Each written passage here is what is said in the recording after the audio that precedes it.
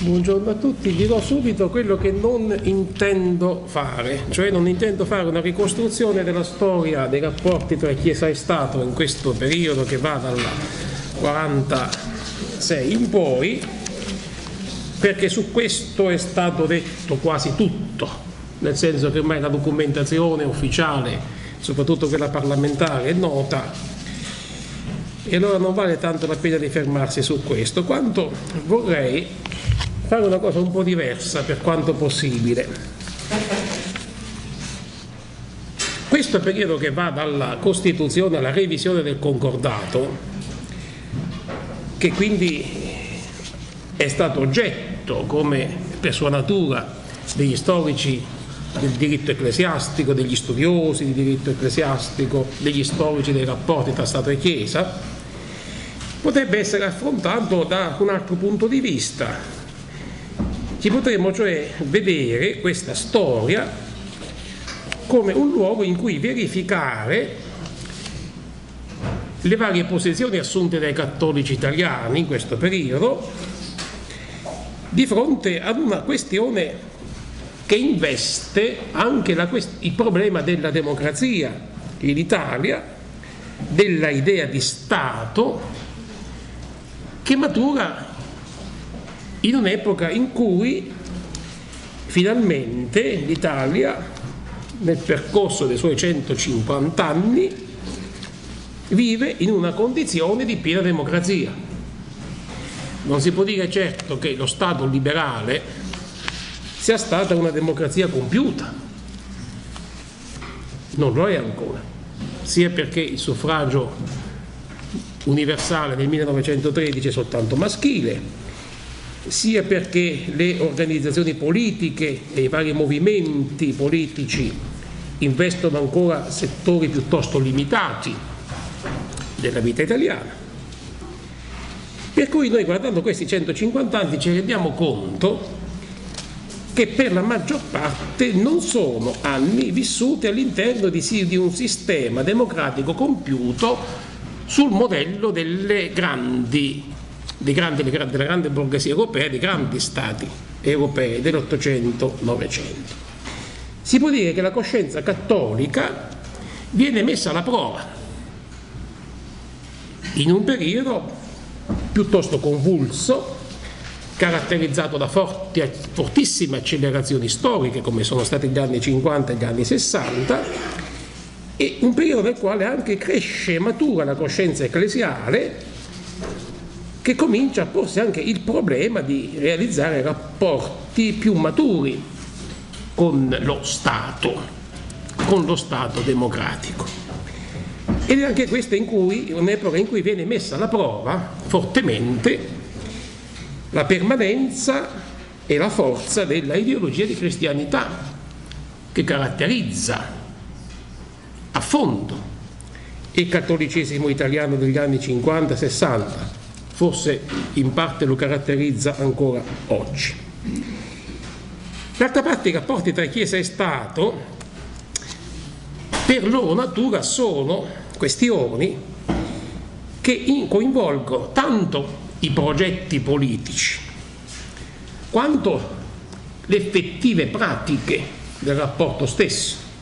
La revisione di un concordato parte da idee, da prospettive, da progetti che poi finiscono per dar vita a delle scelte concrete, effettive, che talvolta sono anche molto distanti dai progetti originali, visto che i concordati per loro natura sono un patto bilaterale, in cui magari per la forza della storia una parte può prevalere sull'altra, come accade in molti concordati nella storia del Novecento, ma sono pur sempre un accordo che è frutto eh, di compromessi in cui un po' le sensibilità delle varie parti vengono messe fortemente in discussione.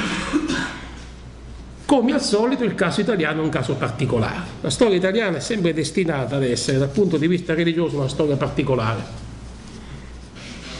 mai come nell'Ottocento-Novecento. Prima perché lo Stato italiano si compone, si sviluppa attraverso la soppressione dello Stato pontificio. Poi perché rimane aperta la questione romana. Poi perché il ventennio fissa attraverso il concordato nel 1929 un sistema di rapporti di tipo confessionale. Fra l'altro il primo punto del trattato, non del concordato, ma nel trattato riconosce la religione cattolica apostolica romana come la religione di Stato. In questo non era una novità perché già scritto anche nello Statuto Albertino, intendiamoci. Una volta ritrovata la libertà dopo il crollo del regime, si pone, come noi sappiamo, il problema dell'inserimento o meno dei patti lateranensi nella Costituzione. Credo che di questo ne abbia già parlato il professor Chiocchiù e non mi ci fermo io. Noi invece partiamo dall'assunzione di questi patti, dalla discussione avvenuta, dal famoso articolo 7, per vedere quali effetti ha prodotto e soprattutto quale domande ha posto alla coscienza politica italiana e in particolar modo alla coscienza politica dei cattolici. Io partirei intanto da una osservazione. Se noi avessimo la pazienza di andare un po' a scartabellare anche le riviste politiche di quell'epoca, del mondo ecclesiastico, per esempio la civiltà cattolica, o del mondo laico, per esempio Belfagor o il ponte di Calamandrei o altro, noi scopriremmo che l'articolo 7, che venne votato in quel modo rocambolesco che tutti più o meno conosciamo, poneva subito una questione a cui noi non possiamo in serie di ricostruzione storica sfuggire, e cioè pone un problema. Presa nel suo insieme la Costituzione, che ingloba i patti lateranensi, fissa davvero fino in fondo l'immagine di uno Stato laico oppure no? O soltanto in parte? Nel momento in cui viene approvata la Costituzione, subito si aprono le discussioni su ciò che era accaduto attraverso l'articolo 7. Intanto possiamo partire da una premessa. L'articolo 7 che ha inglobato i patti lateranensi nella Costituzione suona in una maniera piuttosto precisa. Lo Stato e la Chiesa Cattolica sono, ciascuno nel proprio ordine, indipendenti e sovrani. I loro rapporti sono regolati dai patti lateranensi. Le modificazioni dei patti accettate dalle due parti non richiedono procedimento di revisione costituzionale. Fu piuttosto faticoso arrivare a questo punto, ma noi dobbiamo renderci conto di una cosa e dobbiamo farci questa domanda, che è la stessa domanda che si fecero anche i padri costituenti e che continua poi a suggestionare il dibattito dopo il 1948. Se noi abbiamo la pazienza di leggere tutta la Costituzione, ci accorgiamo che la Costituzione delinea uno Stato laico, ma non lo dichiara espressamente non lo dice con la forza delle parole.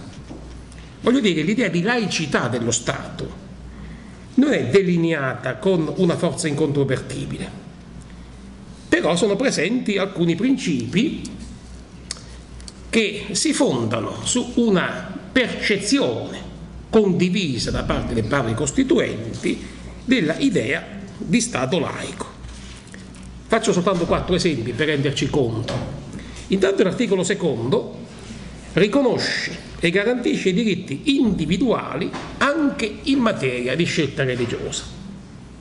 La Repubblica riconosce e garantisce i diritti inviolabili dell'uomo come singolo sia nelle formazioni sociali dove si svolge la sua personalità e richiede l'adempimento dei doveri interrogabili di solidarietà politica, economica e sociale. Nell'articolo 7, nel comma primo, proprio quello che dicevo prima, si legge lo Stato e la Chiesa Cattolica sono ciascuno sovrani indipendenti nel loro ordine. Nell'articolo ottavo si enuncia il principio della libertà collettiva di religione. Tutte le confessioni di religione sono ugualmente libere davanti alla legge. Le confessioni religiose diverse dalla cattolica hanno diritto di organizzarsi secondo i propri statuti, in quanto non contrastino con l'ordinamento giuridico italiano. I loro rapporti con lo Stato sono regolati per legge sulla base di intese con le relative rappresentanze. L'articolo 19 merita di essere riconsiderato anche questo, chiarisce ancora il diritto di libertà individuale in materia religiosa. Tutti hanno diritto di professare liberamente la propria fede religiosa in qualsiasi forma, individuale o associata di farne propaganda e di esercitarne in privato e in pubblico il culto, purché non si tratti di riti contrari al buon costume. Questo è il contesto generale in cui si colloca l'articolo 7 che conferma il, i patti lateranensi. È curioso che il problema della revisione di questi patti sia presente anche nella mente e nelle parole di alcuni costituenti, si potrebbe citare Tupini, che invece cominciano già a parlare dell'opportunità di una revisione ancora durante la discussione che porterà poi alla formulazione dell'articolo 7. E il ritardo di questo processo di revisione è storicamente significativo e va compreso soprattutto alla luce della storia politica e religiosa del cattolicesimo del secondo dopoguerra e in particolare alla luce della egemonia realizzata da parte del partito cattolico. Tra l'altro non dobbiamo neanche dimenticare una cosa, che questo ritardo nell'avvio di una revisione già pensata da Costituente non ci, ci stupisce di meno se, teniamo, se teniamo presente che la stessa Corte Costituzionale entra in funzione in ritardo, addirittura nel 1956. Quindi c'è una, un'attivazione piuttosto ritardata degli istituti che dovrebbero garantire la pratica costituzionale e quindi che sono direttamente chiamati in causa nel momento di una possibile revisione o di questioni che toccano appunto i rapporti tra Chiesa e Stato alla luce delle norme costituzionali. Teniamo ben presente anche un'altra questione. Quando parliamo di revisione della storia italiana, dobbiamo tenere presente una cosa. La discussione sulla opportunità o meno di rivedere i patti o no, diventa molto presto, già nel 19, attorno a 50, agli anni 50, una discussione pubblica. Se noi avessimo la pazienza di vedere come sono stati stipulati i concordati dell'Ottocento e anche del primo Novecento, ci accorgeremo che questa discussione pubblica non c'è, non è evidente. Le due parti, Chiesa e Stato, si, si confrontano attraverso le loro rappresentanze, nel, nel, tra il 26 e il 25 già comincia la revisione dell'accordo del trattato del 29, tutto in gran segreto fra l'altro. Quindi l'idea di, una, di un coinvolgimento pubblico della discussione è estranea agli stati liberali dell'Ottocento. Lì l'accordo si fa tra commissioni. Questa volta nella storia italiana viene qualcosa di nuovo. L'idea, cioè di una revisione, si fa strada molto lentamente un po' in tutte le forze politiche, in pubblico, attraverso discussioni, conflitti, contrasti nei quali dobbiamo tenere presente l'agire, l'azione stessa dei cattolici. Ed è significativo che i laici stessi, soprattutto di tradizione liberale, finiscono per definire il nuovo Stato come uno Stato confessionale e lo fanno con fortissima polemica. Basterebbe fare il caso degli ultimi esponenti del Partito d'Azione o dei liberali radicali. Cioè accusano lo Stato italiano di aver introdotto di fatto un sistema nel quale l'egemonia religiosa è forte così come lo era nel ventennio. Dal versante opposto è curioso che molti giuristi cattolici auspicano un confessionalismo maggiore dello Stato proprio a partire dall'articolo 7. Cosa c'è dietro? Che cosa sta accadendo? Beh, dobbiamo qui fare un piccolo sforzo e renderci conto di qual è il vissuto religioso, soprattutto della società italiana uscita dal dopoguerra un vissuto religioso che è fortemente eh, caratterizzato e diciamo pure condizionato dalla politica, politica religiosa di Pio XII, che accetta sì la democrazia, ma nella prospettiva di una riaffermazione del confessionalismo dello Stato. E molta parte della, della sensibilità diffusa nella curia romana va in questa direzione. Andrea Riccardi, per esempio, ha studiato in due libri questa, questa, vicenda, uno si intitola Roma città sacra, l'altro, il, l'altro si intitola Il partito romano, mostrando come nel mondo romano legato alla curia, alla curia è fortissima la tendenza, la pressione nei confronti della democrazia cristiana per accelerare i processi e rafforzare i processi di confessionalizzazione dello Stato, a partire dal principio che questi processi di, di, di, di confessionalizzazione erano favoriti proprio dal concordato. Si trattava di attuarlo. Che significava riconoscere la sacralità della città di Roma? Quando a Roma negli anni 50 cominciano nei teatri romani ad essere presentati spettacoli o film di un certo tipo, subito interviene la censura, non in forma moralistica, ma richiamando il principio. Certo è che dire Roma città sacra significa dire tutto e nulla, dipende da quale punto di vista si vuole partire per utilizzare un concetto che è un concetto giuridico, eh? non è una, qualcosa che fa parte della sensibilità, diciamo così, più o meno diffusa. E anche significativa un'altra cosa, non dobbiamo dimenticare che nel mondo romano e nell'episcopato di Pio XII il passaggio dal fascismo alla democrazia doveva, passare, doveva andare nella direzione di uno Stato sì democratico, ma con una forte presenza autoritaria. Questo è chiarissimo per esempio nelle memorie di Gedda, che quando parla della storia che portò al famoso 48 ricorda di aver avuto rapporti diretti negli anni 43-45, quando passarono le truppe americane in Italia, perché tutte le strutture organizzative dello Stato fascista passassero in mano cattolica per garantire una continuità. Quindi questa idea di uno Stato, sì, democratico, ma fortemente confessionale, è una idea comune a gran parte del mondo cattolico, che va nella, eh, in una direzione che sembra legittimata proprio dal trattato e dal concordato lateranense. Questo non deve stupire, basterebbe ricordare che gran parte del mondo cattolico, e soprattutto nel centro-sud, fu favorevole alla monarchia piuttosto che alla Repubblica, perché la monarchia garantiva questa eh, prospettiva di uno Stato eh, democratico ma fortemente eh, autoritario al proprio interno e quindi facilmente confessionalizzabile.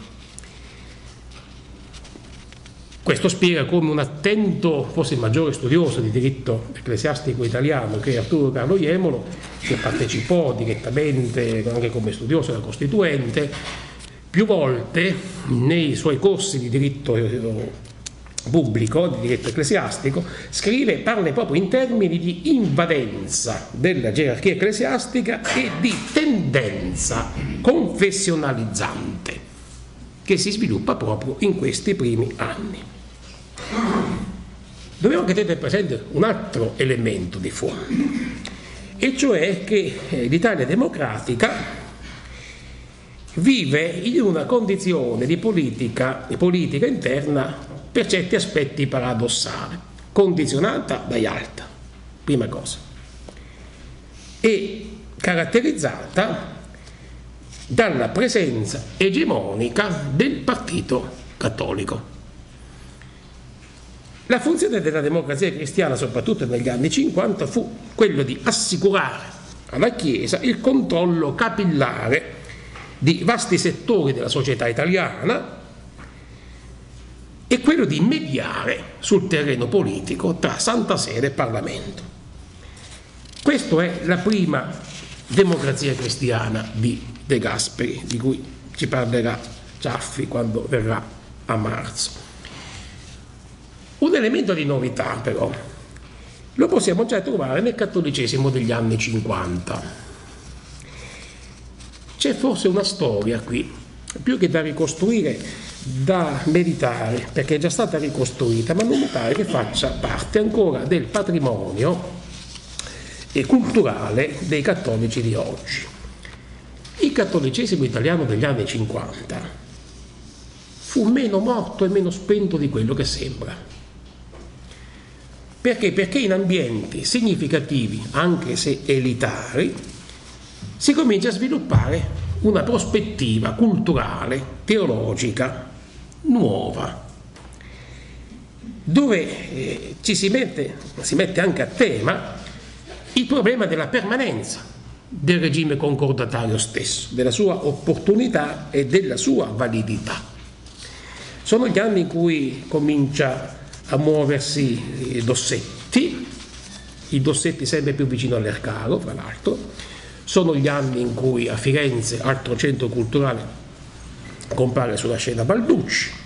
Si tratta di esperienze minoritarie che però mostrano come il cattolicesimo italiano è meno irrigidito di quanto il cattolicesimo stesso vorrebbe ufficialmente mostrare.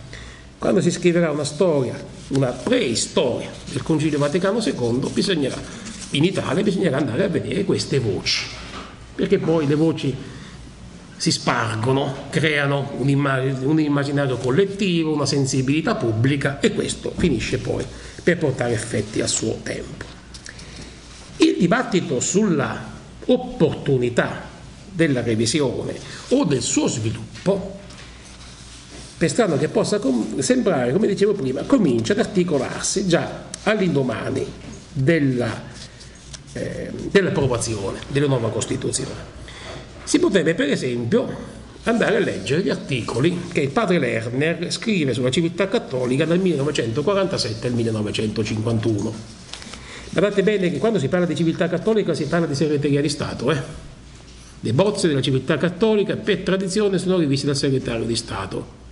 Paolo VI le rivedeva lui, ogni 15 giorni si incontrava col padre Sorge. E quando magari una in, una, in un numero compaiono come dire, articoli piuttosto stravaganti, strambi o fuori del comune, è perché lì è stata fatta la censura di un articolo, non è pronto un altro. Questo racconta bene Sorge. Quindi sentire la segurità cattolica, sentire non l'ufficiosità, qualcosa che è stata l'ufficialità e l'ufficiosità. Ecco, quindi diamo ben presente questo fatto.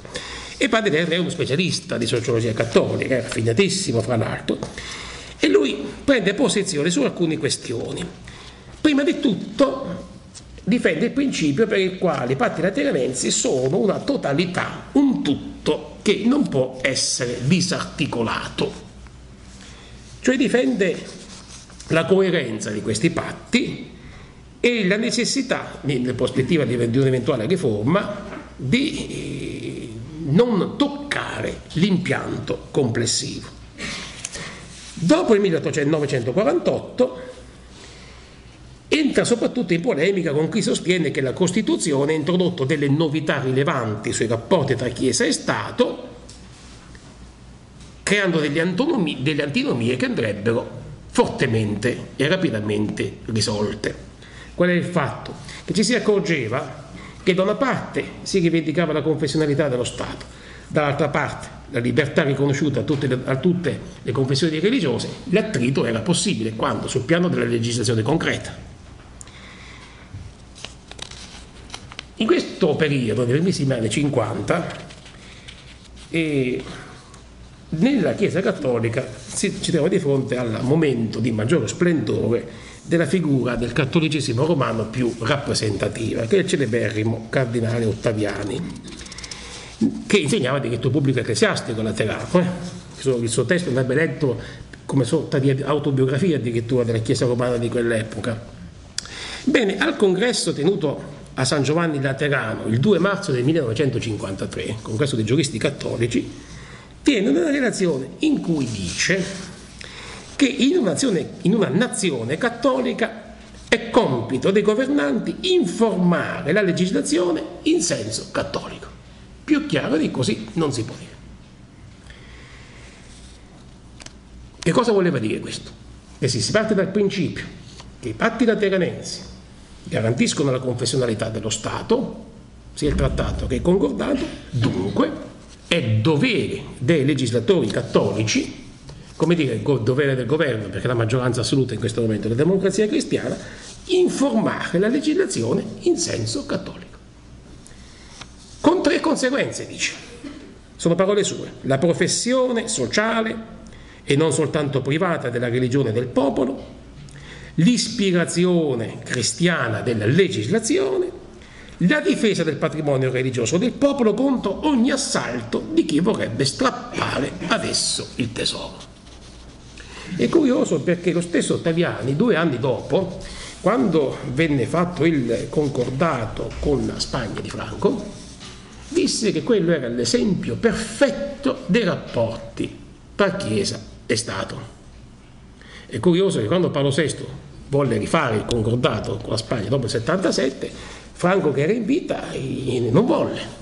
Disse ma cosa volete? Più confessionale di così la Spagna non può essere. Era passato parecchio tempo.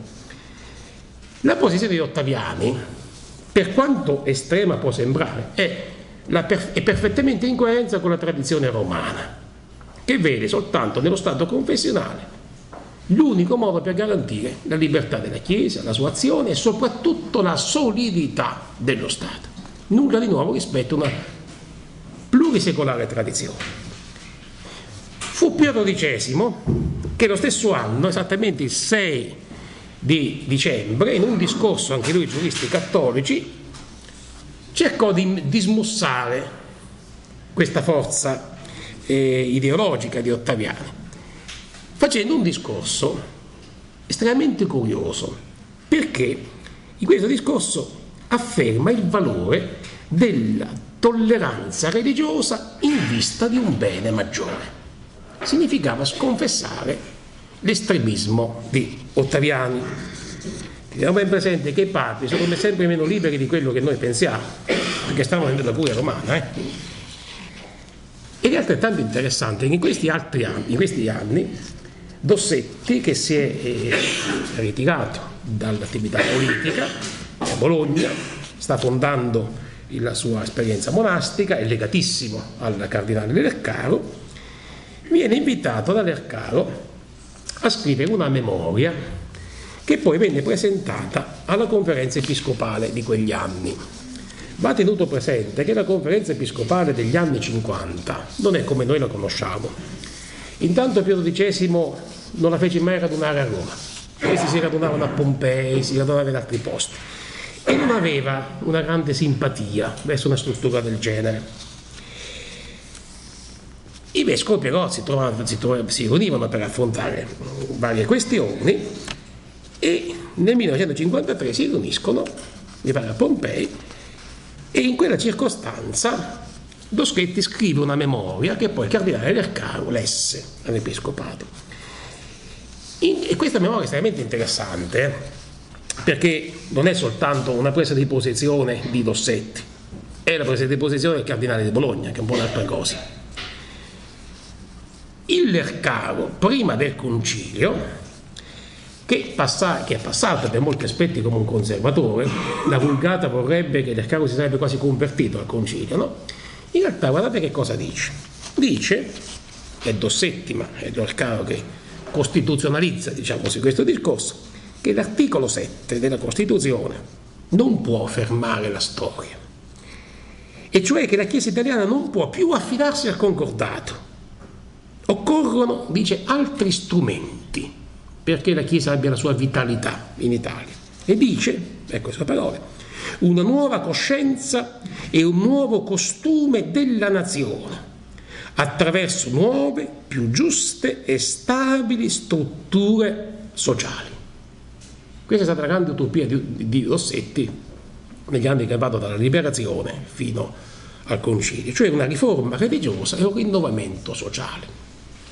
Queste parole espresse con un linguaggio un po' diciamo così, estranee al nostro linguaggio che è più conciliare, o almeno dovrebbe essere un pochino più legato al concilio, sono parole che vanno rilette con attenzione. Che significa dire una nuova coscienza e un nuovo costume della nazione? Significa che Dossetti e Lercaro intuisce più o meno nel decennio successivo all'approvazione della, dei patti del, del, della Costituzione, che il concordato non può più essere uno strumento che garantisca la vitalità della Chiesa, che occorrono non altri strumenti, ma altri percorsi. Dossetti insegnava diritto ecclesiastico, era anche un canonista fra l'altro, e sapeva benissimo, perché lo scrive molto molto in questi anni, che i concordati nascono perché lo Stato garantisce certe libertà in certe forme, certe istituzioni alla Chiesa. È uno strumento che tutto sommato, soprattutto il papato del Novecento, per strano che possa sembrare, è attento ad adoperare in forma difensiva, come dire a garantire che la vitalità del, del cattolicesimo, la sua espandersi, il suo esistere, trovino appoggi nello Stato che ne garantisca la vita effettiva. Fra l'altro il concordato con la Germania fu fatto proprio per motivi difensivi, questo lo diceva lo stesso cardinale Pacelli allora. Che significava negli anni 50 dire una cosa del genere? E riconoscere che questo strumento, per quanto utile, forse non era più uno strumento che era aperto al futuro Dossetti sì, sognava la riforma sociale, eh, ma anche una riforma religiosa dell'Italia. Come dire, il cattolicesimo del futuro o rinasce attraverso una dinamica ecclesiale più profonda, oppure non potrà con più contare sulla forza dello Stato. Sono anche questi anni in cui questi discorsi che si fanno in ambito cattolico mostrano che proprio nel cattolicesimo degli anni 50 si cominciano ad avere delle posizioni diverse, dissimili, dovute anche a un altro fatto. Esistono prese di posizioni che sono caratteristiche del mondo politico dell'epoca, dei vari partiti, che in qualche modo assumono posizioni spesso anche molto critiche nei confronti del sistema concordatario. Quindi è interessante osservare che alle varie posizioni critiche, poi ne citerò alcune, non fa riscontro un mondo cattolico compatto, ma un mondo cattolico pluriforme. Devo insistere su questo perché una certa storiografia ideologicamente pilotata, anche gerarchicamente pilotata, tende sempre ad attenuare le differenze come se il mondo cattolico vivesse una specie di monolite. Non lo è mai stato, neanche nel Medioevo, figuriamoci oggi. Nel 1949 il Partito Socialista, che in quegli anni aveva una posizione frontista, fa un convegno sulla laicità dello Stato e della scuola. Il Nenni propone, è segretario del partito, il sistema separatista. Insomma, l'anno dopo l'introduzione della, della, della Costituzione già si discute su uno dei grandi perni della Costituzione, su uno dei grandi nodi. Propone l'abolizione dell'insegnamento religioso nelle scuole e propone l'abolizione o la revisione del concordato. La cosa interessante è che il Partito Comunista di questi anni non va infatti in questa direzione. Togliatti, lo sappiamo bene da quando tornò nel 1944 in Italia, nel famoso discorso di Salerno, ha nei confronti del cattolicesimo una estrema cautela. Perché? Perché Togliatti sa benissimo che il cattolicesimo in Italia ha radica, un suo radicamento popolare che è difficilissimo toccare, con cui occorre fare i conti. Per cui e Togliatti non pensa affatto né in termini di abolizione né in termini di revisione. Si potrà dire che questa è una strategia, certo, quello che vogliamo, ma di fatto è una strategia che mostra un realismo particolare, che è questo. Una possibile revisione o l'abolizione. Debbono nascere da una sensibilità diffusa, non possono essere calate dall'alto. E per chi era attento come Togliatti ai profondi dinamismi della società italiana, proporre una revisione dall'alto o addirittura un'abolizione significava innestare una conflittualità, per così dire, radicale, non tanto con la Chiesa, ma con il popolo cristiano. Eh?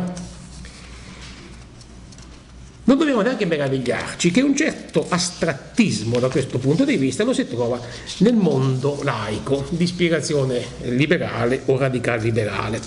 Per esempio in questi anni Belfagor, che è la famosa rivista curata dall'italianista Luigi Russo, che di, che di tradizione neoidealista ma radicalizzata in senso marxista, propone proprio la separazione, il sistema separatista, nel 1950 appare un numero unico sul ponte di Pietro Calamandrei, dedicato a Chiesa e Democrazia, contro la dittatura clericale che si accusa come qualcosa che si sta affermando nell'Italia degli anni 50.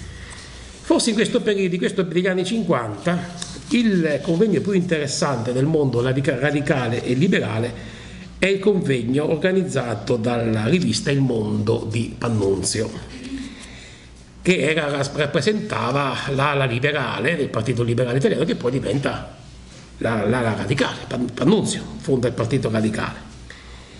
Da un certo punto di vista segue Croce e segue soprattutto la nuova borghesia industriale italiana molto attenta al Partito Comunista ma fortemente anticlericale. Nel 1957 il mondo organizza un convegno su Stato e Chiesa. L'episodio è significativo perché rappresenta il momento in cui l'anticlericalismo, paradossalmente, finisce per impedire ogni dialogo con quella parte del cattolicesimo democratico che era sensibile alla riforma del concordato. E l'andamento di questo convegno è sintomatico si aprì con un messaggio di Salme, Salvemini, ormai vecchissimo, sarebbe morto qualche mese dopo, in cui Salvemini propone l'abolizione del concordato. In questi termini, sono parole sue. Il pericolo è la trasformazione graduale per via di quegli imbrogli di cui la DC è maestra, da regime democratico a regime totalitario. Il nostro ufficio deve essere quello di seguire giorno per giorno l'opera della DC, dare l'allarme di ogni suo nuovo passo verso il totalitarismo, Guardate con quale faciloteria si parla di totalitarismo, eh? fare dell'anticlericalismo non astratto ma concreto, con sorveglianza e aggressività in ogni ora. Replicò a Salvemini il maggior storico di tradizione crociana di quegli anni, Luigi Salvatorelli, che invece osservava che nell'Italia degli anni 50 non esistono, dice, rischi teocratici, ma che bisognava piuttosto favorire un dialogo con quei settori dell'azione cattolica, lui dice, sensibile alla laicità dello Stato. Il convegno non va nella direzione sognata da Salvatorelli, intervenne Ernesto Rossi appellandosi alla società civile per l'abrogazione del, del concordato. Questo convegno è significativo perché? Perché proprio mentre nel mondo cattolico cominciano a disarticolarsi in posizioni ferme intorno al principio confessionale dello Stato, questo convegno impedisce a queste forze di muoversi con, con libertà. È un meccanismo molto semplice, anche dal punto di vista psicologico si, si capisce questo. Cosicché si perde una occasione che stava nascendo negli anni 50, quella occasione che viene rappresentata proprio dalla fondazione di una rivista che ancora è tra le maggiori del cattolicesimo e della cultura laica italiana, cioè il Mulino di Bologna, che nasce con un programma condiviso, nel senso che la lotta per la laicità dello Stato doveva coinvolgere sia cattolici che liberali. Ma nel momento in cui il liberalismo, nelle sue voci più forti, tende a irrigidirsi in anticlericalismo, un progetto del genere rimane quanto mai effimero e difficile. Il PC si continua invece nella sua linea togliattiana, contraria all'abolizione del concordato, che viene considerato come una proposta massimalista. Non dimentichiamo che molti anni del Partito Socialista hanno, si, sono, hanno sempre, si, sono, sempre preoccupati di, di, rincorrere il Partito Comunista a sinistra, già in quegli anni, sono gli anni del frontismo, eh? non ancora del, del centro-sinistra. E la vera questione per Togliatti è che la società italiana aveva subito una involuzione non a causa di processi di confessionalizzazione dello Stato, ma a causa dei governi centristi. E un profondo rinnovamento sociale non avrebbe avuto, secondo lui, nulla da temere dal concordato. Scrive infatti sull'unità, uno Stato che abbia assunto questo carattere nuovo non ha niente da temere da un concordato, né da quelle libertà che il concordato italiano garantisce alla Chiesa cattolica. Il dibattito non è un dibattito di grandissima levatura, come si vede. Perché? Perché qui si, si vede chiaramente uno dei retaggi pesanti e negativi dell'anticlericalismo tardo ottocentesco che si rinnova sempre con, sto, con soliti modelli, piuttosto, moduli piuttosto astratti, che poi fanno da pandan al clericalismo. Ancora negli anni 50, clericalismo e anticlericalismo sono tutto sommato le due facce della stessa medaglia. Cosicché il dibattito, la discussione su un'eventuale revisione non procede, non va avanti. Non dobbiamo neanche dimenticare poi certi episodi che tra gli anni 50 e 60 irrigidirono Roma e irrigidirono d'altra parte la cultura eh, liberale anticlericale.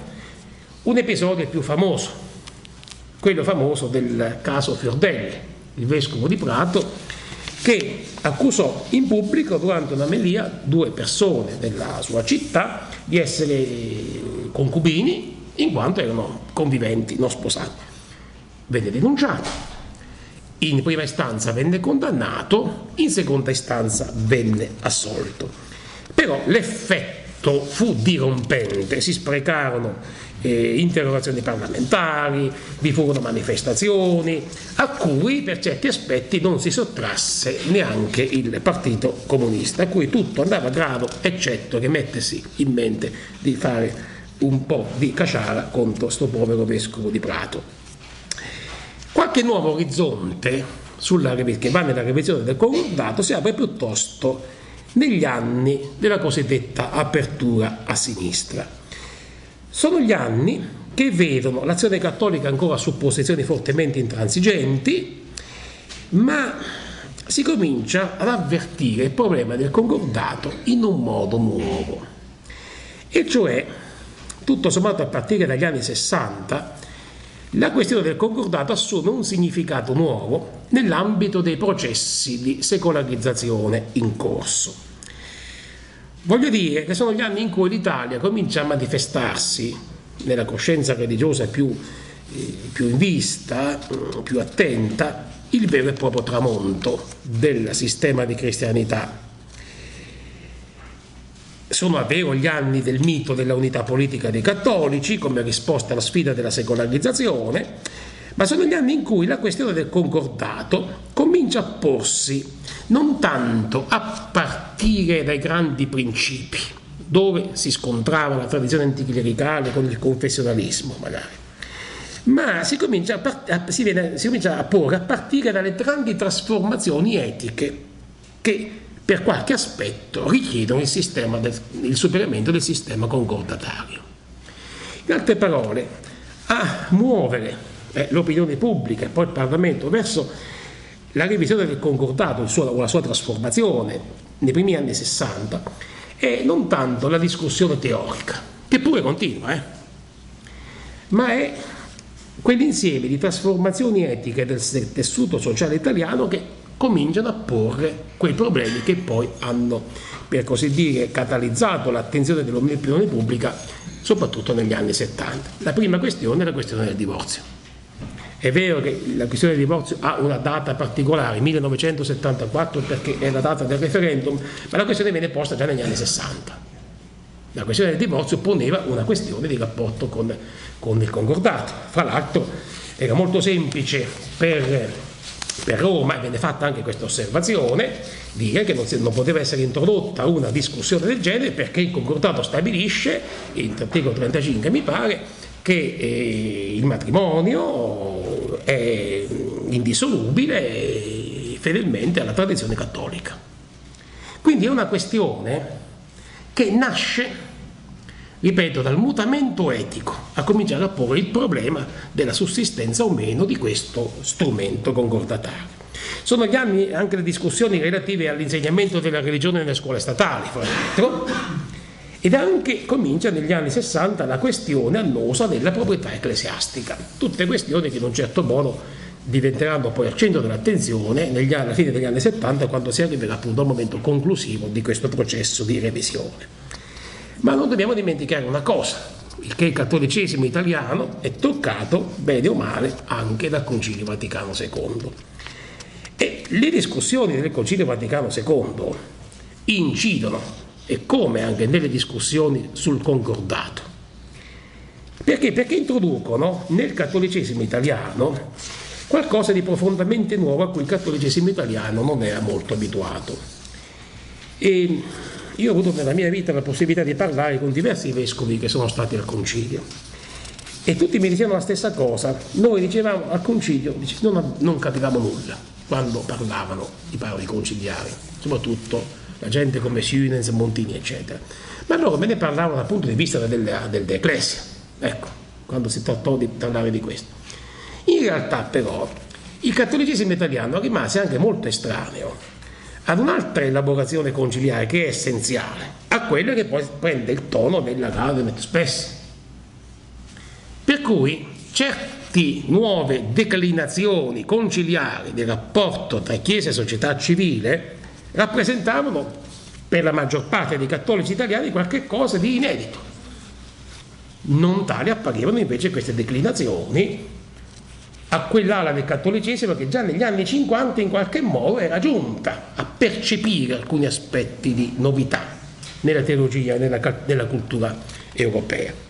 Pensiamo per esempio alla distinzione che fa il Vaticano II tra la sfera politica e la sfera religiosa, che non comportava, lui dice chiaramente, spesso, una sorta di disinteresse da parte della Chiesa, ma nelle Gaudium Spese si parla chiaramente di collaborazione tra la Chiesa e le istituzioni terrene in vista del bene comune. Un conto è collaborare, un conto è confessionalizzare. I verbi hanno la loro importanza. Più volte si dice che la Chiesa annuncia il Vangelo e chiede la libertà necessaria, ma i suoi mezzi non differiscono molto dai mezzi propri delle società terrene. Per questo, si legge molto bene nella Gaudium et Spes, la Chiesa cessa di riporre le proprie speranze nei privilegi offerti dalle autorità civili ed è disposta a rinunciare all'esercizio di certi diritti legittimamente acquisiti, ove constatasse che il loro uso potesse far dubitare della sincerità della sua testimonianza o nuove circostanze esigessero altre disposizioni. Certo, sono parole che guardano la Chiesa universale, poi dopo to- tocca alle Chiese particolari fare i conti con questo dettato. Qui l'allusione alla prassi concordataria è evidente. Che cosa sta vedendo al concilio? La prassi concordataria viene storicizzata, viene considerata come uno strumento che forse per certi aspetti non è più attuale, o non è più attuale dappertutto, o comunque non sia un dogma.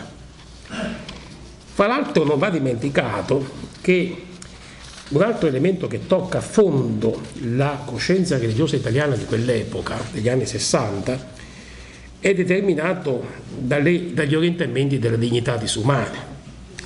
Perché qui si afferma il principio per il quale la, chiesa, la libertà della Chiesa non contrasta con la libertà religiosa di tutti.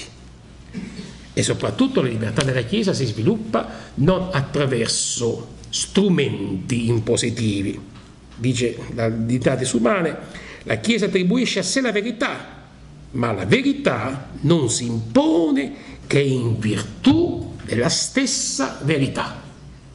Si potrebbe dire che in qualche modo erano le parole di Dossetti quando dice che occorreva una riforma religiosa della società italiana e partisse da una percezione, da un approfondimento, da una rivitalizzazione delle verità cristiane. Non bisogna anche dimenticare che perfino la pace in Interris contribuisce a creare un clima nuovo nel cattolicesimo italiano e a porre indirettamente il problema anche del concordato. Perché la pace Interris riconosce che la libertà religiosa di tutti deve essere tutelata dallo Stato, ma la libertà religiosa. E può accadere, dice Papa Giovanni, che per ragioni storiche nell'ordinamento giuridico dello Stato si attribuisca una particolare rilevanza ad una confessione religiosa. Ma in, anche in questo caso, sono parole sue, è necessario che nello stesso tempo a tutti i cittadini, a tutte le comunità religiose venga riconosciuto e sia rispettato il diritto alla libertà in materia religiosa. Ora, nel processo di ricezione del Vaticano II in Italia, anche la questione del concordato torna fortemente in primo piano. E negli anni 60, alla fine degli anni 60, metà anni 70, fu una delle discussioni tipiche delle associazioni cattoliche dell'epoca, eh? tutte non c'era associazione cattolica dove non venne posto questo problema con risposte molto differenti al loro interno. Si andava da, dall'idea di separazione dei cristiani per socialismo all'idea di riforma e di rinnovamento di questo patto o di revisione alla luce del Vaticano II, comunque nella prospettiva di un superamento del confessionalismo. Questo perché la discussione del concordato diventa in Italia anche una questione ecclesiale. Questo è un altro elemento su cui bisognerebbe tornare a discutere e a fare un po' di ricostruzione storica, perché di per sé, negli anni precedenti al concilio, eh, i cattolici non discutono dei concordati se non nella, sul piano del diritto pubblico, sul piano del diritto ecclesiastico, ma non sul piano ecclesiale. Quelli furono anche gli anni in cui in certi settori dei cattolici si pose un problema che andrebbe riposto oggi, cioè sul significato ecclesiale di uno Stato legato a Roma, che non è mica una idea tanto peregrina, porselo, eh? Non è un'idea tanto strana. Quegli anni si discusse anche di questo nel mondo, nel mondo cattolico. C'erano spinte che provenivano da una ecclesiologia nuova, ma non è un caso che in Europa e anche in Italia si torna perfino a discutere di questo. Poi i processi storici vanno per altre, per altre questioni. Cioè ci si accorge che mantenere in piedi questo strumento, in qualunque modo, nella forma poi stabilita dalla Costituzione, implica anche qualcosa di, di fondo nella ecclesiologia del popolo di Dio. E questo problema, tutto sommato, è rimasto aperto per molti aspetti. Ma è significativo, al di là di tutto, e anche al di là di certe soluzioni o tentativi di soluzione che sono rimasti sterili in quegli anni, che un problema di questo tipo, che appare sempre nel, proprio dell'orizzonte politico, politico-religioso, politico-ecclesiastico, comincia a diventare negli anni 70 una questione di ecclesialità. Cioè una questione che tocca l'agire della Chiesa, il suo essere comunità. Sono anche gli anni in cui alcune riviste cattoliche si muovono nella direzione della separazione o dell'abolizione del concordato. Basterebbe fare due casi, quest'Italia di Vladimiro Dorigo, che propone la separazione, testimonianze di Balducci, che propone l'abolizione ma con il tempo, l'abolizione graduale del, del concordato. Intanto, alla metà degli anni 60 comincia, qui sarò più breve, la discussione in Parlamento. E i parlamenti arrivano sempre dopo, questo è naturale e fra l'altro tutta la storia della revisione del concordato è condizionata strettamente dalle crisi di governo, dai problemi di maggioranza, poi come vedremo fra qualche istante anche dalla accesa discussione sul, sul divorzio. Si possono segnare alcune date. Intanto nel 1965 vi fu una discussione parlamentare quando a Roma e un po' dappertutto nelle grandi capitali europee venne messa in scena quella mm, rappresentazione drammatica del vicario di Ukot, Okut, dove venne messa in scena Pio XII e accusato di aver taciuto nei confronti della, della Shoah, eccetera. Una questione che poi dal punto di vista eh, teatrale è un, una noia mortale ancora rileggere quel, quel, quel, libretto teatrale si trova ancora in vendita ma eh, la discussione fu atroce perché si toccava qui eh, qualcosa di assolutamente sacro e intoccabile ebbene è curioso che il 12 aprile di quell'anno Nenni che incontrò era vicepresidente del consiglio incontrò Paolo VI e scosse in Paolo VI la disponibilità vaticana per la revisione del concordato. La procedura è molto semplice, per rivederlo bisogna che le due parti fossero d'accordo non è che c'era altra, altra, possibilità. E Paolo VI si mostrò d'accordo per una revisione. Qui si comincia a parlare di revisione. Revisione significa non toccare l'assetto generale, rivedere dentro un tutto che non si tocca nel suo assieme. Due anni dopo la Camera si esprime secondo una mozione di maggioranza che propone la revisione bilaterale di alcune norme concordatarie in base alle, all'evoluzione dei tempi e allo sviluppo della democrazia. Sono i primi presi di posizione, i primi voti che si fanno piuttosto generici. Meno generico invece è la famosa commissione guidata da Guido Gonella, che si insede nel 1968 che è incaricata da parte dello Stato di impostare i problemi da discutere con la controparte vaticana. Non a caso venne scelto Guido Cornella perché eh, era in intimi rapporti con il Vaticano, molto più lui di Andriotti in, in, quegli anni, quindi persona graditissima al Vaticano. Ricorderete gli atti di, gli acta di urna, no? La commissione fu molto rapida, andò dalla primavera fino alla metà del luglio del 1968 ma gli esiti di questa commissione non furono comunicati al Parlamento e rimasero inediti fino al 1976, quando furono pubblicati da Spadolini in un'opera sua. Scriveva, scrisse questo testo sui rapporti tra Chiesa e Stato e venne pubblicato da, da Spadolini, non se ne seppe nulla. C'è un nuovo passaggio parlamentare nel 1971 e questo passaggio è estremamente interessante. Qui eh, Andreotti propose una discussione del concordato in Parlamento prima della firma. Una novità di grande rilievo che passò inosservata perché? Perché è una novità estremamente democratica, ma nella storia dei concordati i parlamenti ratificano i concordati dopo che è avvenuta la firma, non discutono prima. Qui invece si pongono le basi perché il concordato sia una revisione non del governo ma del Parlamento. E Andreotti si impegnò, cosa che poi fu fatta, a favorire, a favorire l'ampia discussione e consultazione prima di tutto nel Parlamento italiano. E qui si afferma definitivamente l'idea di una revisione del concordato. Le cose andarono piuttosto lentamente, perché tra il 71 e il 76 tutto si ferma per la discussione nota sul divorzio che passa in primo piano nel primo ottobre del 65 Fortuna presenta la proposta di legge che poi diventerà la, la proposta Fortuna Baslini, un liberale e un socialista. Il Vaticano interviene con una nota ufficiale in cui eh, si chiarisce, si dice, si afferma con molta chiarezza che questa discussione e l'eventuale, naturalmente, approvazione della legge del divorzio infrange l'articolo 34 del concordato. Vi fu una opposizione fatta dalla Corte Costituzionale in una sentenza del gennaio del 1967 e, e sancisce la costituzionalità della proposta di legge. Alle elezioni del 1968 le due Camere hanno finalmente una maggioranza divorzista. Non dimentichiamo che la maggioranza divorzista era fatta, era molto semplice. Tutti a favore del divorzio, eccetto la democrazia cristiana e il movimento sociale nonostante ci fosse allora un governo di centro-sinistra e poi di centro, la maggioranza eh, coinvolgeva sia mondo laico sia mondo comunista e l'estrema sinistra, quindi eh, la cosa riuscì a passare.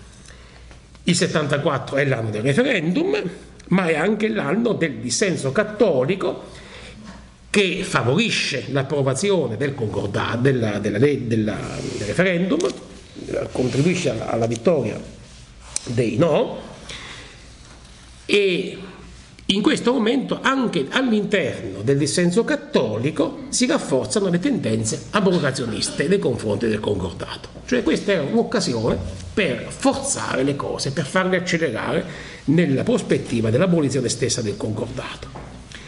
Nel 1975 vi furono contatti non ufficiali tra il governo e la Santa Sede, li conosciamo perché il eh, diplomatico italiano che rappresentava il governo italiano a, presso la Santa Sede era Pompei che ha pubblicato le sue memorie di questi anni e Pompei assicura che l'interesse di Paolo VI era quello di procedere oltre, anche rapidamente, la revisione, anche nella prospettiva di un nuovo concordato, non, necessariamente la revisione, anche andando molte, o molto oltre. C'erano dubbi del Papa ma tutto sommato questi dubbi stavano all'interno di una volontà precisa di procedere in questa direzione.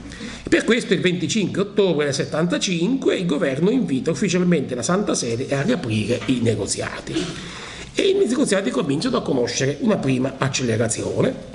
A novembre del 76 Andreotti presenta la prima bozza di un nuovo concordato che fin dall'inizio ha la forma che poi è destinato ad assumere alla fine, cioè un accordo quadro con intese successive, quello che poi diventerà l'andamento del concordato italiano.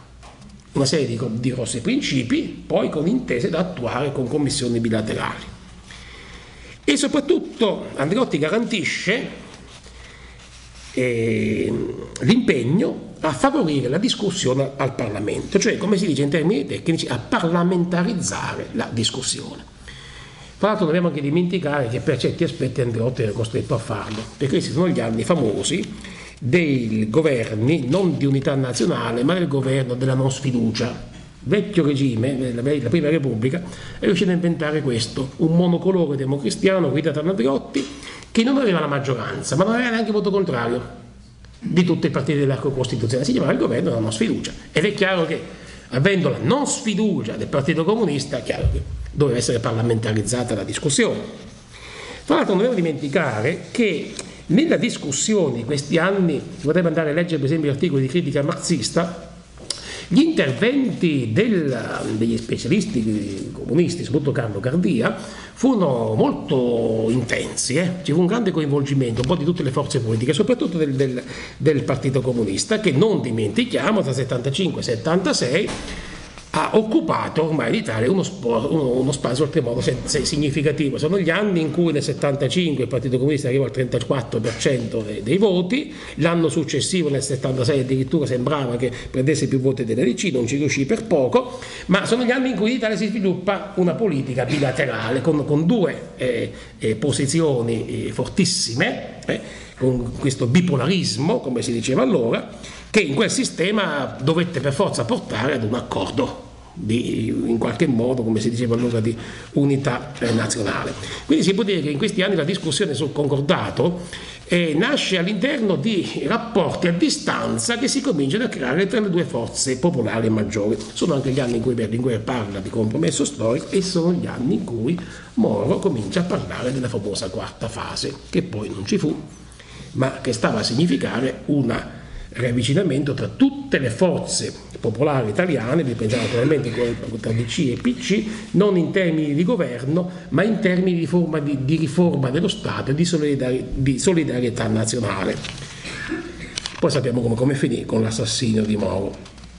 Il dibattito procede dal 76 con una certa rapidità, non vi sto a raccontare tutte le faccende delle bozze successive dal 76 all'83 fino alla bozza Fanfani, ma vorrei piuttosto fermarmi soprattutto a osservare i principi ispiratori di questo nuovo concordato che contengono alcuni elementi di radicale novità anche nel, nel presentare dire, il cambiamento in corso con motivazioni legate ai mutamenti verificatisi in Italia con il Concilio Vaticano II. Perché, per strano che possa sembrare, il, prime, le prime parole dell'accordo dicono qualcosa che non si trova in nessun altro concordato dell'epoca.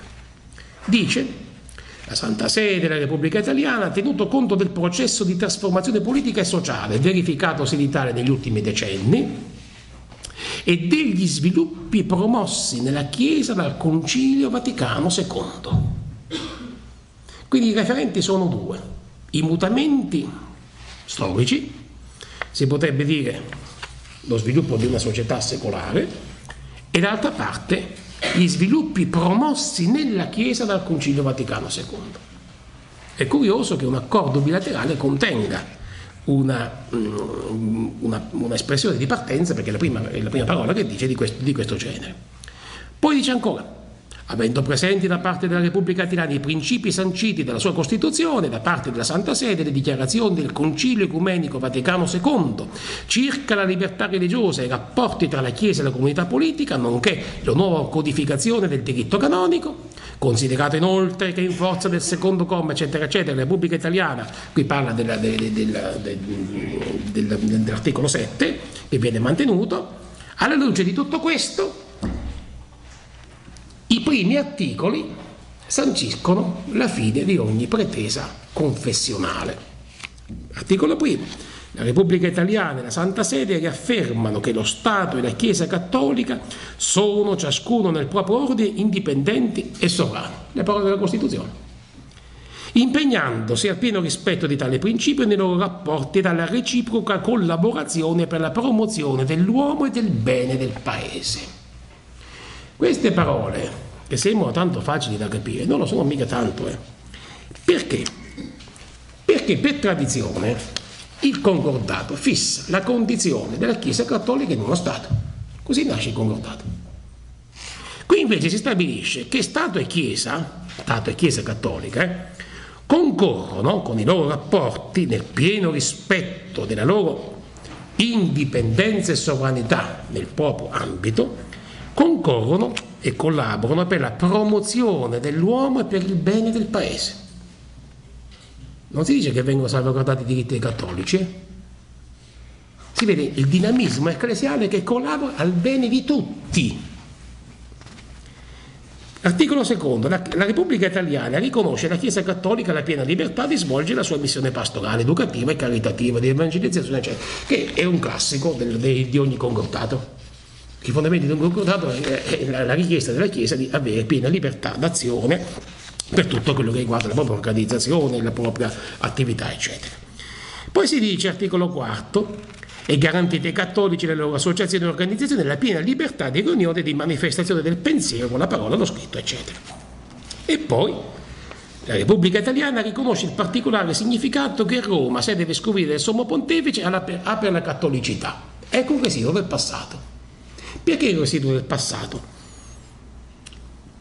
Perché questo articolo, per essere interpretato, deve essere interpretato alla luce di una tradizione precedente. Perché di per sé che vuol dire il particolare significato che ha Roma per la cattolicità? È nella sua tradizione. Ma questo particolare significato che cosa determina? dal punto di vista giuridico, amministrativo, burocratico, questo un concordato non lo dice. Attendi bene, quando un concordato non dice qualcosa, state tranquillo che quello è l'inizio di un conflitto. E qui, qui si può dire è qualcosa che lo Stato ha dovuto pagare, cioè la mancanza di una certa chiarezza. Lo Stato laico che definisce il significato particolare di Roma, però tutto sommato manca una parola chiave non si parla più di significato sacro di Roma. Il che vuol dire qualcosa. Che vuol dire? Vuol dire che Roma è importante per la sua tradizione, che non la porta ad essere uno spazio sacro. Si potrebbe andare avanti così per eh, vedere queste varie novità, non mi ci voglio fermare. E ciò che è significativo però è questo, che alla luce di queste premesse poi e lo Stato e la Chiesa stabiliscono delle, delle attività future, e, e degli incontri bilaterali per sancire tutta quella serie di, di, di questioni che poi divenne oggetto di, di, patti, di accordi successivi, di protocolli successivi, tra cui per esempio quello che può interessare molti di voi, gli accordi che hanno definito lo statuto della, dell'insegnamento della religione cattolica dello Stato, che avviene diversi, diversi anni dopo. Quali somme noi possiamo tirare fuori da questa esperienza? Certo, il concordato di 1984 appare soprattutto come la conclusione di un'epoca, più che un nuovo inizio.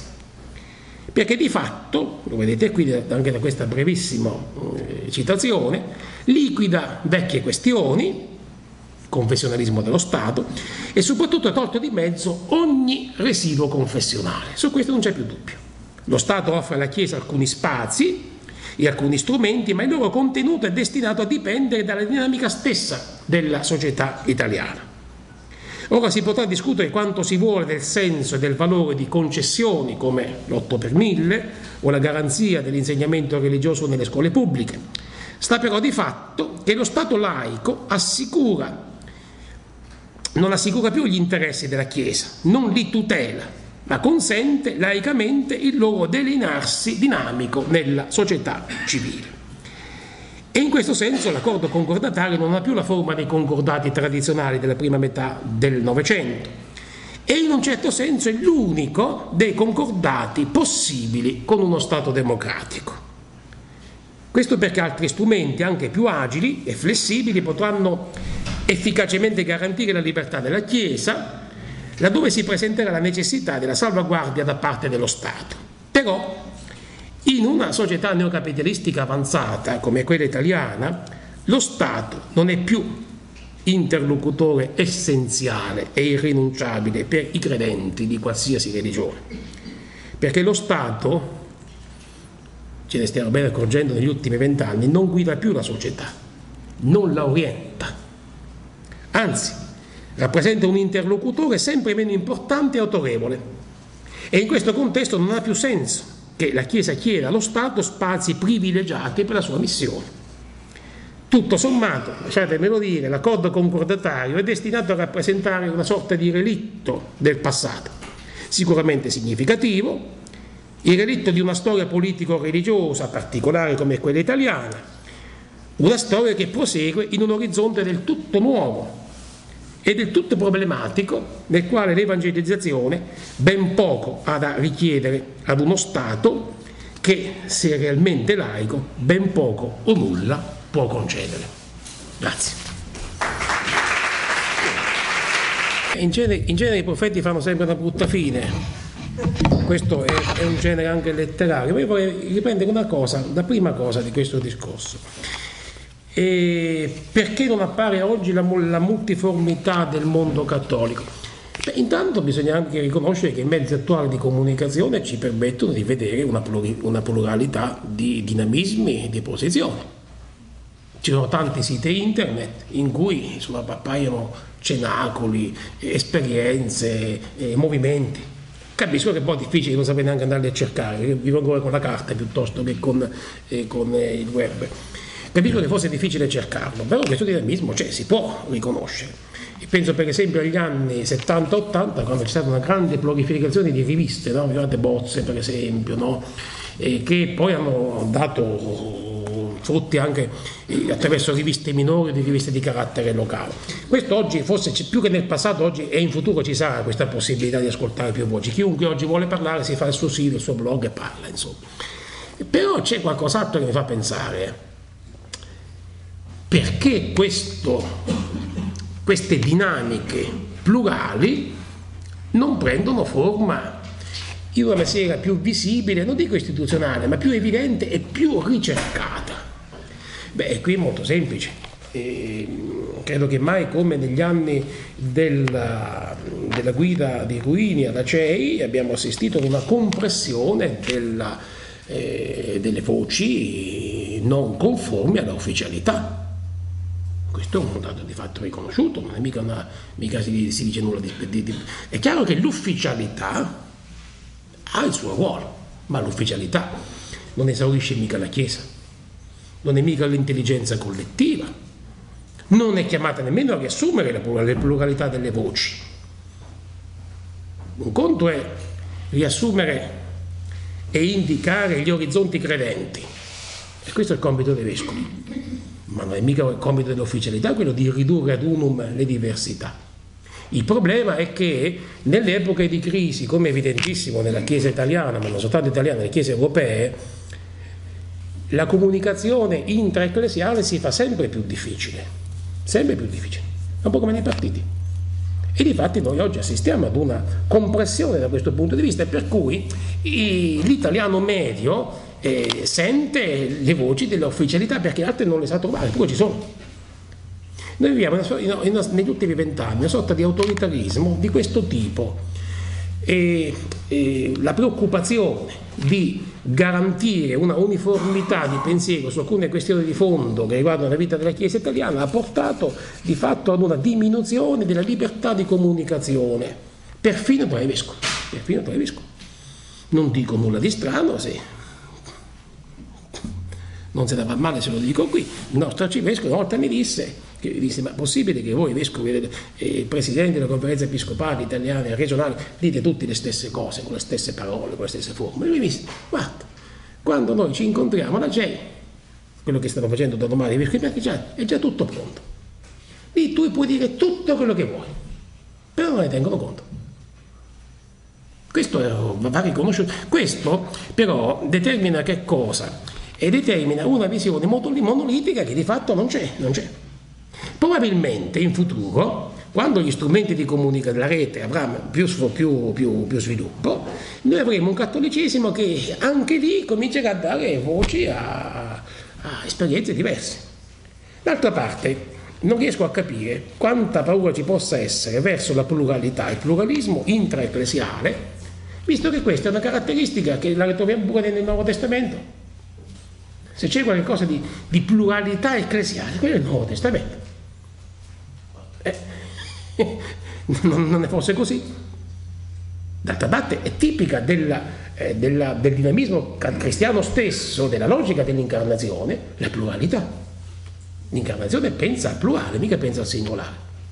Casomai è la tendenza alla costruzione dell'ideologia che pensa all'uniformità. Oggi noi siamo in una fase, penso, qui concludo, di eh, dinamiche multiformi poco note. E anche perché poi c'è anche questo, che è anche una caratteristica negativa di tanto dopo concilio, secondo me, che tanti movimenti ecclesiali che pure sono piuttosto vistosi in Italia non sanno dialogare tra di loro. Non solo, ma non ricercano il dialogo tra movimenti come un'occasione di arricchimento reciproco perché un conto è dialogare in posizione di forza, un conto è dialogare nella convinzione che forse l'altro può insegnarmi qualche cosa, a tal punto da modificare profondamente il mio modo di essere e la mia spiritualità. Se c'è qualche cosa che è tipico del plurale della Chiesa, è, il pluralismo teologico, è sempre stato, il pluralismo delle spiritualità, delle scuole di spiritualità. L'età poi post-tridentina ne ha realizzate tantissime di scuole di spiritualità. Quello a cui assistiamo oggi è l'idea per la quale una spiritualità pensa di essere il tutto della Chiesa. E no, non è così. Allora, laddove l'incontro non è ricercato programmaticamente come incontro perché le diversità diventino arricchimento di tutti, e lì si viene meno a un criterio di fondo dell'ecclesialità, eh, che è l'apertura all'altro. Eh. E in Italia questo fenomeno purtroppo è vistoso. È vistoso. Io ricordo 25 anni fa addirittura un incontro tra Comunione di Liberazione, Azione Cattolica e Ancona dove vendono fuori le scintille. Poi c'era l'arcivescovo Maccari, Candolini disse ma in fin dei conti che diversità ci sono tra di noi? Nessuna, vogliamoci bene e basta, sapete non sapeva più che cosa dire. In realtà le diversità vanno tematizzate, presentate e discusse, ma con, la, con l'idea, con la convinzione di fondo che dalla pluralità non è che deve nascere l'unità di pensiero, ma deve nascere il riconoscimento reciproco. L'unità significa questo, che io riconosco che la storia dell'altro ha valore quanto la mia storia. Non deve essere annullata nella mia o io annullarmi nella sua. Perché il dinamismo ecclesiale non è il dinamismo partitico, per cui alla fine bisogna trovare l'accordo. No, no, è una incontro, una discussione, un dialogo permanente, perché questo dialogo permanente non è altro che la permanente e continua interpretazione del mistero di Dio. Ci insegnano i dogmatici che, se, che la teologia è una interpretazione continua, che non ha mai dei punti fermi risolti una volta per tutte. E sul piano della prassi ecclesiale è così. Forse noi siamo abituati a pensare alla prassi ecclesiale, questo sarà uno dei peccati con cui sarà giudicata la Chiesa di questi anni, come se fosse una prassi politica, con maggioranze e minoranze, con eh, manifesti da una parte e manifesti da quell'altra. Questi meccanismi umani si capisce e credo che si conciliano male col mistero della Chiesa. La Chiesa in questo senso non è democratica, non ha questa una struttura democratica, ha una struttura comunionale che è molto più della democrazia. La democrazia punta all'accordo, la comunità ecclesiale punta all'inclusione e alla valorizzazione delle diversità che tali rimangono. Invece il processo politico tende ad accorparle le diversità. Qui no. Questo è il dinamismo che la Chiesa nel suo, nelle sue epoche più splendide eh, ha saputo di fatto mantenere, lo ha vissuto. Come c'erano i, i, dire, i colonizzatori che andavano a distruggere le Indie nel nome di Gesù Cristo, c'era Bartolomeo della Casas che diceva il contrario. Talvolta bisogna rendersi conto che le prospettive sono per loro natura così distanti e mondiali. Il cristianesimo del futuro sarà questo, e non sarà. Figurati quando avremo la possibilità di parlare a fondo con i cattolici cinesi che cosa verrà fuori. Sentiremo la nostra fede declinata in un altro modo, in un'altra forma.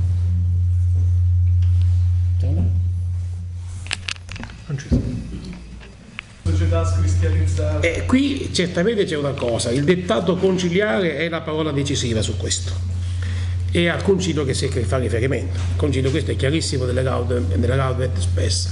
Certo che in questo modo la Chiesa rivendica che cosa? La, la dinamica pubblica che ha la Chiesa, cioè il principio per cui l'esperienza religiosa si struttura nel mondo, si struttura nella, nella dinamica sociale, non rimane ancorata alla vita individuale, che è uno dei principi su cui si fonda eh, il Concilio Vaticano II. Libertà religiosa non significa soltanto la libertà di eh, professare la religione come dato della coscienza o come realtà di culto. La religione si struttura, si struttura nel, nel, nel, dinamismo che per la Chiesa Cattolica è il dinamismo delle sue opere, delle sue attività, delle sue, delle sue iniziative. Certo, qual è il problema? Che una dichiarazione di principio di questo tipo di fatto apre eh, la storia, apre la via a circostanze che saranno determinate dalla storia concreta. Cioè da quel momento in poi sono i dinamismi della società italiana che stabiliranno o che stabiliscono per il passato le forme di questa collaborazione. In questo senso il concordato ha enunciato un principio che poi si riempie a seconda della storia di questa o di quella decisione. Questa volontà di, di, di occupare lo Stato non mi pare che sia presente in quel, in quel, in quel dettato. Casomai la volontà di riaffermare il principio per il quale l'azione della Chiesa è un'azione pubblica, incide nella vita sociale. E altro è rivendicare il principio per il quale il principio l'occupazione dello Stato avviene in questo, quando si rivendica il principio per cui lo Stato è cattolico. Questa è l'occupazione dello Stato. Il resto non è occupazione dello Stato. Il resto è dinamica, dinamismo di rapporti Certo, quello che in Italia pesa di più rispetto a tanti altri concordati è la presenza della Santa Sede, non c'è dubbio. Non c'è dubbio perché, perché di fatto eh, un conto è la dinamica statuale della Santa Sede come Stato, città del Vaticano, eccetera. Altro è la storia che ha portato e che porta di fatto ancora oggi la Santa Sede a incidere in qualche modo nella vita politica stessa dell'Italia. E questo eh, dipende poi dalle circostanze, dipende anche dalla forza delle, delle istituzioni pubbliche o talvolta anche dalle debolezza delle istituzioni ecclesiali. Per esempio, quando il cardinale Bagnasco dice, parole sue, che la Santa Sede ha i suoi canali per intervenire, si verifica le faccende di questi giorni, e dice una cosa che il cardinale Carasaroli non avrebbe mai detto in vita sua, che sarebbero i canali suoi per intervenire. Dove dovrebbe intervenire? Nella vita politica? Nella vita politica intervengono i cattolici, ma neanche i vescovi. Dopo certo, in questa fase noi abbiamo assistito a una, una, una, forza di intervento diretto dell'episcopato italiano, soprattutto dell'episcopato guidato nell'epoca di Ruini, che è dovuta alla debolezza delle istituzioni civili. Questo non c'è dubbio. E i rapporti della Chiesa e Stato oscillano sempre a seconda della, del, della circostanza di forza di potere proprio effettivo che ha eh, una o l'altra parte. Questo fa sì sempre che nei concordati, soprattutto quelli dell'Ottocento, si vede benissimo chi è che vince e chi perde. Subito. In Italia questo, questo dipende dalla, dalla, dinamica sociale. Certo, pensare che in qualche modo la revisione del, dell'84 porti a prospettive di confessionalizzazione dello Stato penso che sia molto difficile. Casomai può avvenire un'altra cosa, può avvenire che maggioranze eh, con, con eh, votino delle leggi molto vicine alla sensibilità eh, cattolica. Quali però? Dove starebbero queste maggioranze? Forse il concordato abilita una, aiuta a pensare una cosa, ecco perché dicevo l'ultimo dei concordati possibili, perché tutto sommato il futuro della Chiesa non è nell'appoggio che può avere dallo Stato, in questo o quell'appoggio, sta nella sua libera dinamica e nella sua capacità di essere credibile. Lì, lì il dinamismo vero, e, e questa è la Chiesa del Vaticano II. Se addirittura si deve dire che si può rinunciare a privilegi legittimamente ottenuti in nome di una limpidezza dell'evangelizzazione, significa che cosa? Significa che questo strumento, ma nel, nel caso italiano, ha una sua forza che vede la sua storia, certo, ma che poi è uno strumento che in fin dei conti tende, tende ad esaurirsi. Poi è chiaro che nel, nel, nel definire questo o quella cosa entrano in ballo tante altre questioni, anche spesso di, di, politica spicciola. Io penso per esempio a quella grande occasione perduta che è stata quando negli anni 70 la Lega Democratica propose il doppio canale per l'insegnamento della religione della scuola. E la scelta che è stata fatta, in fondo in fin dei conti, sia dallo Stato che dalla Chiesa, tutto sommato non è una grande scelta culturale per la Chiesa italiana, per la cultura italiana però eh, le scelte sono destinate a noi, possono essere rinnovabili. Ma certo non mi pare tanto che sia una, una occupazione, l'occupazione del potere viene in altre forme, viene che non sono più quelle, quelle del concordato. Certo però che i principi ispiratori fanno sì che il concordato italiano sia ormai una realtà che ha chiuso un'epoca, ha risolto i problemi del vecchio, del vecchio sistema confessionale, ma questo strumento può avere un senso fino a un certo punto. Ora i percorsi di incidenza della vita sociale sono i percorsi di incidenza dell'evangelizzazione. Troverei strano che una nuova evangelizzazione, come parlano i vescovi italiani negli ultimi 15 anni, cerchi di trovare strumenti di tipo concordatario, non ne ha bisogno, non sarebbero nemmeno, nemmeno, nemmeno recepiti. Poi come? Quando l'Episcopato stesso ha la misura esatta della riduzione anche numerica del cattolicesimo italiano, no? che è davanti agli occhi di tutti. I concordati sempre, eh, si sono sempre sviluppati nella storia attraverso presenze molto imponenti delle chiese in uno Stato. Oggi la Chiesa non è una realtà così imponente come sembra. Sì, forse nella cultura, nel mass media, sì, ma nella, nella, realtà vissuta penso che sia molto difficile pensare che il cattolicesimo oggi abbia chissà quale egemonia, non ce l'ha fatto, non ne pare. E quindi in una società, in una generazione fortemente laicizzata, come saranno le generazioni future, non credo che la Chiesa possa passare attraverso affermazioni di tipo concordatario. Non credo proprio. Però quelli sono è riportato di, di, una storia. Poi la storia ha le sue accelerazioni. Può anche darsi che uscita dalla paura, uscendo dalla paura di questi vent'anni, la storia italiana abbia delle forti accelerazioni che portino a, anche a modi di interpretare i rapporti tra eh, società civile e società religiosa in forma diversa. È il futuro che io vuoi pubblicare.